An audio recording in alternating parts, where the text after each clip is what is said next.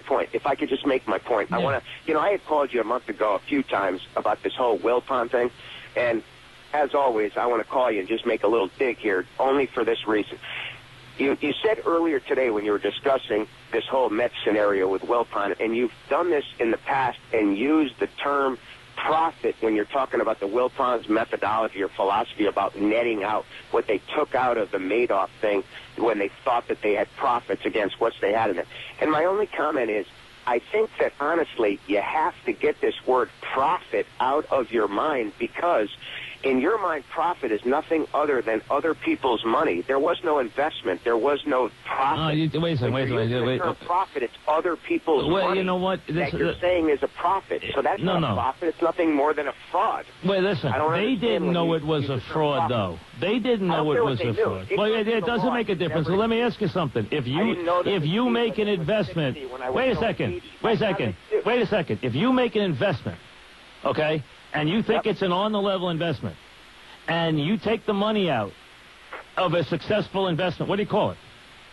It- That's once again ignorance of the law is no excuse. When they if they gave me money back that was other people's money, I could. How did they know it was other? windfall. Listen, you're, you're, you are terminating. like You, no, no, no, no, no, end of the no. Wait a second. You didn't know it. No one knew it was a. rainbow. That doesn't No one knew it was illegal.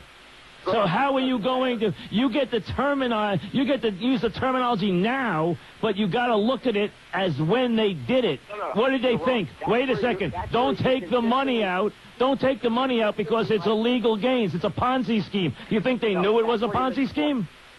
Mike, you consistently miss the point with that comment. No, I don't. That's where you No, I don't. the. When I'll tell you they get because a- you're saying when they did it, when they did it, they thought it was profit. That's right. where you lose everything. Why? Because it doesn't matter what they thought. Why not? It matters what is. No, you when see, that's they not thought true. It was profit and it's other people's money. They can't go to the judge and go. They hey, are victims. A billion dollars because I thought it was profit. Why not? You could say you thought it was anything. Let me ask you something. Let me ask you something. say- Quiet. Judge is going to say. Quiet. Profit, Mike. Quiet. Quiet.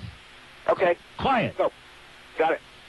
This, the argument their lawyers will make is that their statement that you get. Do you have investments? Do you have an investment? Certainly. Do you get a statement every month? Absolutely. According to the United States government, that statement is an official, official statement, verified official statement of profit and loss. Whoa, They whoa, start. whoa. Wait a second. Compared to who? Wait a second. It's not when when Yes. when, when UBS sends you a statement. It's official compared to who? UBS It's sends you a verified. That's not official. of- Y- yes, it is official. Verified by who? They have